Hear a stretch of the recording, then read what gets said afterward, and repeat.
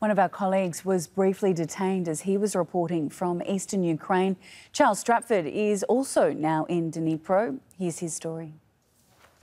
We've returned from the city of Zaporizhia where the situation is becoming increasingly tense. A lot more military checkpoints, a lot more military hardware than, uh, than we saw there yesterday.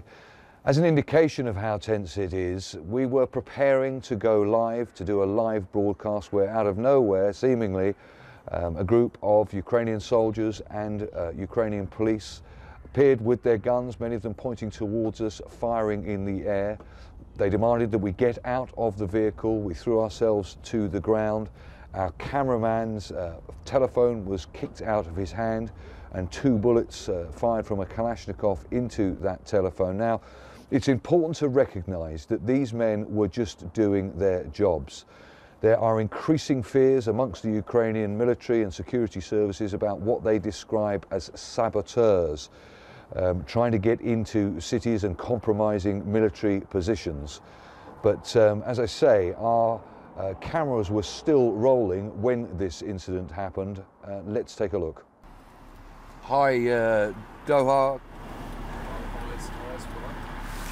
Hey, hey, hey, hey. Stop. Stop. Stop, stop, stop, filming.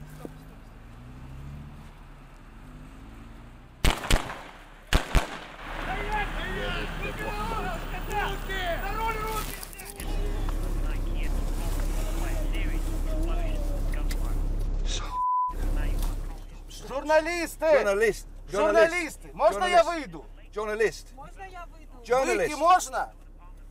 Журналист! Ну, а а а Журналисты! Я понял, Журналист! Журналист! Журналист! Журналист! Журналист! Откройте дверь, пожалуйста! Журналист! Что делать? Телефон! Also reports from the uh, port city of Mariupol, witnesses telling us that uh, what they describe as being increasing numbers of paramilitaries on the streets, Ukrainian paramilitaries helping the Ukrainian army trying to defend the city from what we understand is a push by Russian forces from the west. We know that the city has also suffered heavy shelling from the east.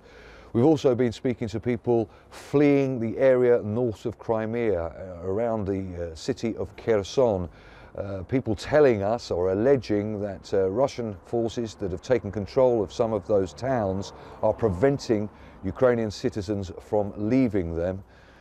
The situation on the roads around Dnipro, um, very tense. Checkpoints a lot more strict. At one checkpoint, um, we saw a Russian helicopter fly low over the checkpoint, causing panic, causing people to, to scatter away, even the security services that, uh, that were manning that checkpoint.